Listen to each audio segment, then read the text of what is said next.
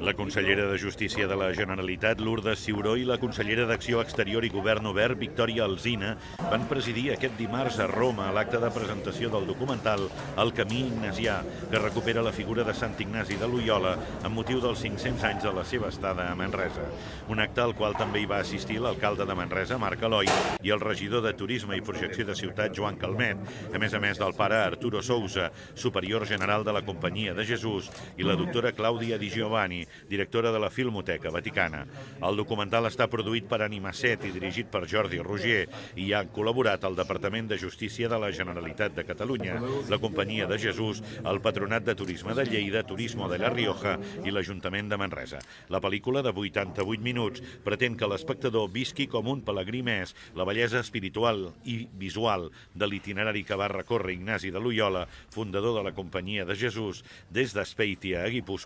fins a Manresa el 1522. La història segueix quatre pelegrins de procedències i creències diverses, l'Embassa, l'Iñaki, l'Íñigo i la Marta, que s'aventuren acompanyats del guia, Josep Lluís Iriberri, a seguir els passos que van portar Ignasi cap a Manresa. L'estrena del Camí Ignasià a les sales de cinema està prevista per al 22 de juliol a Catalunya. Avui encara es tornarà a projectar a Roma.